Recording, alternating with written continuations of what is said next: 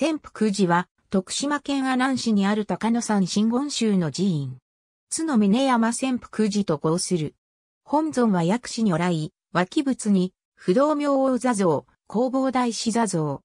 本尊真言、オンコロコロ仙りまとう義祖若仏教寺院としては、珍しく、本堂祭壇に鳥居が祀られている。これは、地域住民の阿波三方の一つに数えられる津の峰山神社との関わりが強く、寺院名も津の峰山潜伏寺。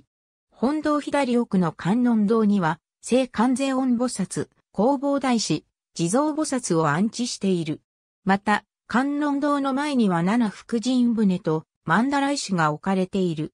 潜伏寺の蔵には、1788年に、住吉や自閉作の中道性の顎口や、江戸時代の松村義自作の同性故郷などが奉納されている。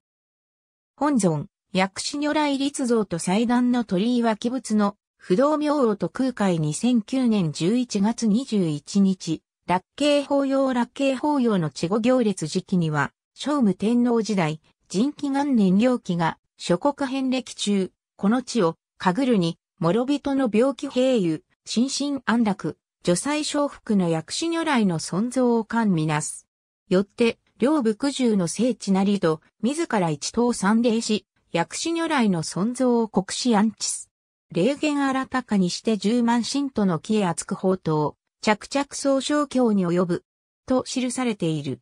文政元年に、旧本堂、栗が改築されるが、その間に、幾多の修復が加えられた。